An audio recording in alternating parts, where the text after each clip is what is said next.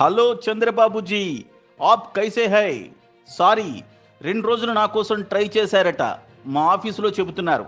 మీరు రాగానే వెంటనే అపాయింట్మెంట్ ఫిక్స్ చేయాలని చెప్పేశాను.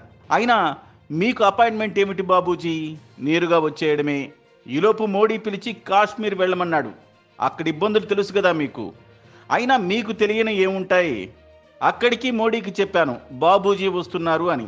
నేను ఉండను కదా నువ్వు మాట్లాడు అన్నాను. కానీ నీ ఎదుట కూర్చుని తాపీగా మాట్లాడి నీ ప్రశ్నలకు బదులు చెప్పేంత మాట పటుత్వం లేదన్నాడు. కాశ్మీర్ వెళ్ళినా సరే నా దృష్టంతా ఇక్కడే. అసలే మీరు కోపం మీద ఢిల్లీ వస్తున్నారు.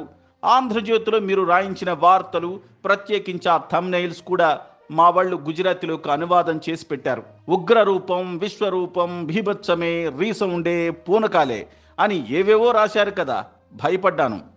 ఢిల్లీ లెఫ్టినెంట్ గవర్నర్కు ఫోన్ చేసి అలర్ట్ చేశాను కూడా. మీరు మామూలుగా ఉంటేనే మీతో మాట్లాడడం కష్టం.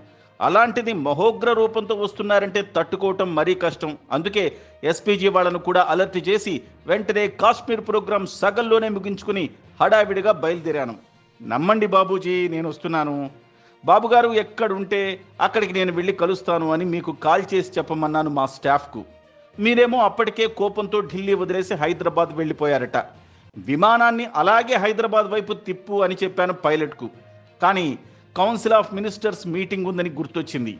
ఢిల్లీలో దిగిపోవలసి వచ్చింది. అసలు ఇదేనండి మా మోడీతో సమస్య? పిలిచి కప్పులో కాసింత ఛాయ్ పోసి నేరుగా అడిగేస్తూ పోయేది పార్టీని విలీనం చేస్తావా అని. అదొక్కటే మార్గం. అసలే మీరు పొద్దున బాగానే ఉండి రాత్రి ఉల్టా మాట్లాడే తత్వం. రాళ్ళేయించగలరు అంతు చూస్తానని బెదిరించగలరు. మా ప్రత్యర్థులకు డబ్బులిచ్చి రింగ్ ఫామ్ చేయగలరు మీరేమైనా చేయగలరు. సో ఇక మీతో దోస్తీ అనేది కుదరదు బాబూజీ. ఆల్రెడీ మా చేతులు మూతులు కాలిపోయినాయి. ఇంకెలా నమ్మగలం? అయినా సరే రాజకీయాల్లో ఇవన్నీ సహజం అంటారు. అందుకే చాలా సహజంగా విలీనం చేసేస్తే వన్స్ ఫర్ ఆల్ దోస్తీ ఫిక్స్ అయిపోతుంది కదా. తమరు తోక జాడించడానికి కూడా ఏమీ ఉండదు. మోడీని వెన్నుపోటు పొడవటం కూడా అంత ఈజీ కాదు. నేనే నేరుగా ఇవన్నీ నిర్మోహమాటంగా చెప్పాలని అనుకున్నాను. కానీ మీరేమో వెళ్ళిపోయారు. మీరు రండి సార్.